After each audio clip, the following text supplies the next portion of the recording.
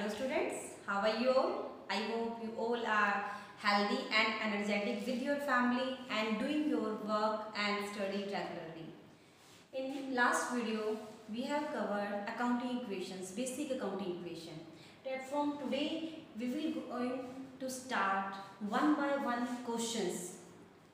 Okay we are discussing some examples and questions. Okay today i take question number मैंने इसको P D F में आपको send किया हुआ है.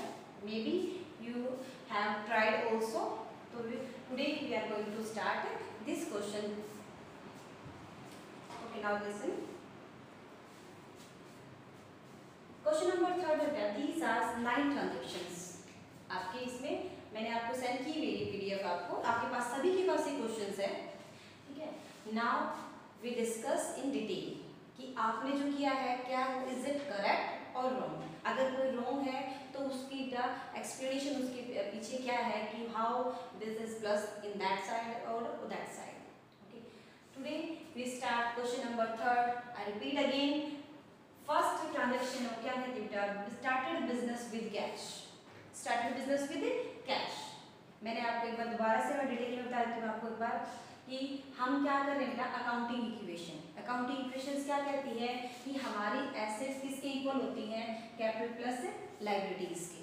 इट मीन्स ये जो कैपिटल प्लस लाइब्रेटीज बार बार हम रिपीट कर रहे हैं, क्या होता है बेटा? Capital plus liabilities capital plus liability का मतलब है source of fund source of fund source of fund means कि जहाँ से पैसा हमारे पास आया है। वो चाहे हमने खुद लगाया, यानी कैपिटल कौन सा होता है, जो पैसा हम खुद लगाते हैं that all are invested then liabilities यानी जो आउटसाइडर मनी आउटसाइड बोरिंग होती है, यानी वो रिस्पॉन्सिबिलिटी जो हमें फ्यूचर में पे करनी है, वो हमारी सारी क्या कहलाती है आपकी लाइबिलिटीज मैंने उसमें एग्ज़ाम्पल क्रेडिटर्स दिया हुआ है। एसेट्स ऑफ़ कौन क्या चीज़ होती है एसेट्स का मतलब है uses of fund uses of fund इसको हम लोग यूज़ की जगह क्या वर्ड यूज़ कर सकते हैं? Application of fund application of fund जहाँ पर उस फंड को यूटिलाइज किया जाता है। भी मैंने यहाँ से एज ए स्टार्ट जब बिज़नेस स्टार्ट किया था तो मेरे पास मैंने पैसे जो इन्वेस्ट किया वो कैपिटल होगी कैपिटल ये बिज़नेस की साइड है जहाँ उस पैसे को यूज़ करना है। तो जब कैपिटल आपके, जब आपने पैसे स्टार्टिंग में लेके आए तो बिज़नेस में कैश इंक्रीज हो गया। ठीक है? फिर उस कैश से एसेट्स को परचेज कर देगी इधर से कैश कम हो जाएगा आपका और आपको हो सकता है कुछ गुड्स परचेज करके स्टॉक बढ़ जाएगा तो एसेट खरीदे तो ऐसे का नाम आ जाएगा। यानी इस कैश को कम करेंगे तो हमारी अलग अलग एसेट्स क्रिएट हो जाएँगी। और जैसे ही फिर हम लोग हमारी कोई एसेट कम हो रही है तो हो सकता है मे भी लाइब्रेटी इंक्रीज हो जाए। यानी कि वन बाय वन हम इस ट्रांजेक्शन को, मैंने जो क्वेश्चन दिया हुआ है, उसको हम करते हैं। सबसे पहले started business with cash it mean जब हम बिज़नेस स्टार्ट बिज़नेस स्टार्ट करते हैं तो दो जो मनी बिज़नेस स्टार्ट करते वक्त एक ओनर इन्वेस्ट करता है ये पैसा किसने इन्वेस्ट किया हुआ है? यानी जो ओनर है कोई भी मान लो एक्स एक पर्सन है जिसने बिज़नेस स्टार्ट किया with rupees one lakh twenty thousand तो वन लैख ट्वेंटी थाउज़ेंड का मतलब यहाँ क्या करता? उसकी कैपिटल नहीं वन लैख ट्वेंटी थाउज़ेंड मैंने प्लस कर दिया। ओके okay, ये वन लैख ट्वेंटी थाउज़ेंड हर ट्रांजेक्शन मैंने चीज़ बताई every transaction affect two aspect दो जगह कहीं ना कहीं माइनस होगी। तो फ़र्स्ट तो क्या होगी? This is the capital of the business तो बिज़नेस की कैपिटल है तो मैंने वहाँ पे नहीं लाइब्रेटी है। तो हम निकालना लेते one lakh twenty thousand capital की दीजिए ठीक है? अब हम बताए, यहाँ कहाँ इंक्रीज हुई होता हमारे बिज़नेस में क्या आ गया? कैश ठीक है? यहाँ मैंने twenty thousand one lakh twenty thousand इधर इंक्रीज कर दिया। और कहीं भी कोई इफ़ेक्ट नहीं हुआ।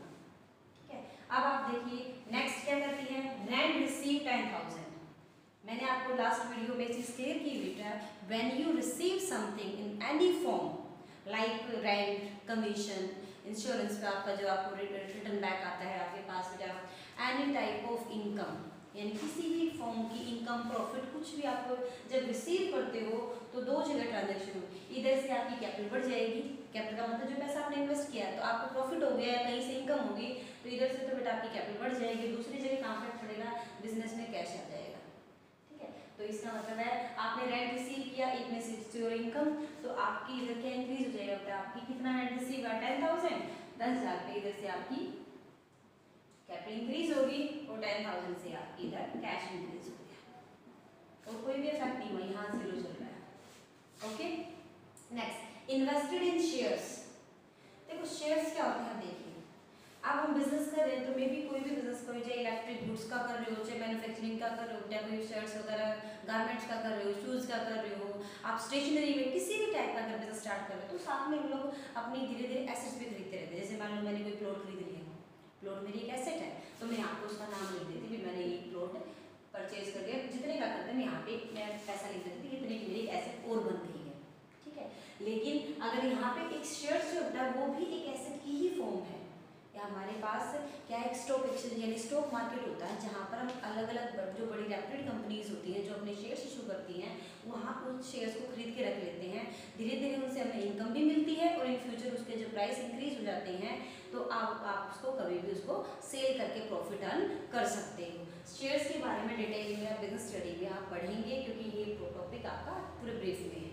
ठीक है? अब यहाँ पर हम ये मान के चले शेयर्स क्या है हमारे लिए? एसेट शेयर क्या है एसेट्स तो मेरी एसेट इंक्रीज जब भी आपकी एसेट इंक्रीज होगी तो आप यहाँ पर उसका राइट नेम राइट एड कर देंगे। यानी क्या बढ़ा है यहाँ लिख देती हूँ मैं शेयर्स ठीक है? तो यहाँ पे शेयर्स हो गया इट शेयर्स मेरी इंक्रीज हो गए, कितने से, कितने के शेयर्स खरीदे मैंने? पचास हज़ार रुपये के। तो फिफ्टी थाउज़ेंड यहाँ प्लस कर देंगे। Okay fifty thousand shares increase हो गए। लेकिन जब मैंने शेयर्स खरीदे तो मेरे पास क्या चला गया? Cash it means deduct from the cash fifty thousand यहाँ कोई भी इफ़ेक्ट नहीं इसलिए इसका मतलब उस अभी तक। आपको इन इन चीज़ों में कोई भी इफ़ेक्ट नहीं। यहाँ तक समझ में आ गया? Now next receive dividend for rupees five thousand five thousand dividend क्या होता है बेटा इन जो शेयर्स आपने खरीदे हैं, उनसे जो इनकम मिलती है, उसे हम क्या बोलते हैं? डिविडेंड यानी it is a part of profit यानी एक प्रॉफिट की ही फॉर्म है।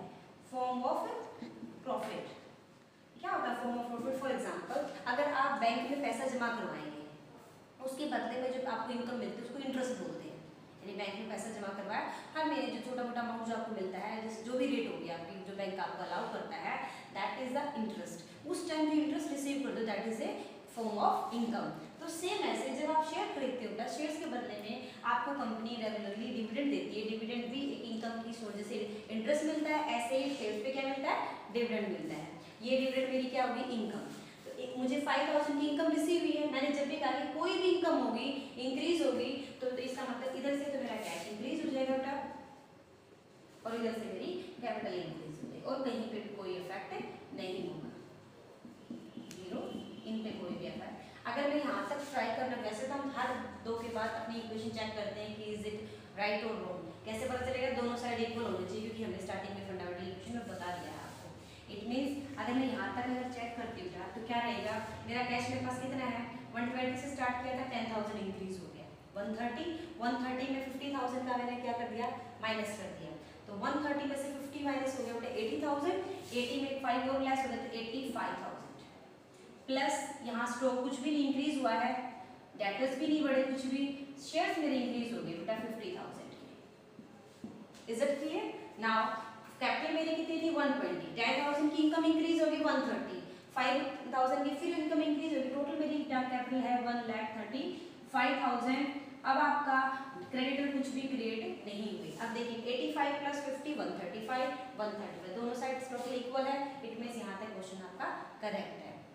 नाउ नेक्स्ट इक्वेशन बता that is purchase goods from Ragini on credit 35000 मैंने, यानी जिस चीज़ का भी आप बिज़नेस करते हो, उसे गुड्स कहते हैं। मैंने कहा, अगर शर्ट का बिज़नेस मैं कर रही हूँ तो इट मीन शर्ट मेरे लिए गुड्स है। अगर मैं शूज़ का बिज़नेस करती हूँ तो शूज़ मेरे लिए। यानी जो स्टॉक में ऐड होता जाएगा। आप किसी भी फॉर्म में बिज़नेस चाहे मैं स्कूटर अगर सेल एंड परचेज का काम करूँ कोई बड़ी एसेस का परचेज भी सेल करती हूँ तो बेटा वो मेरे लिए गुड्स में आ जाएगा गुड्स जब भी परचेज करोगे, क्या इंक्रीज होगा बेटा आपका? स्टॉक ठीक है? तो स्टॉक जब इंक्रीज होगा तो it mean thirty five thousand का सामान खरीद रहे हो तो स्टॉक बढ़ गया। कितने से?